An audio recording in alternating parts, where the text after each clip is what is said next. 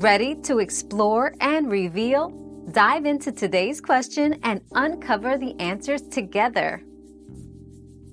Outdoor temperature impacts Nest's cooling time by directly affecting how quickly your home can reach the desired temperature.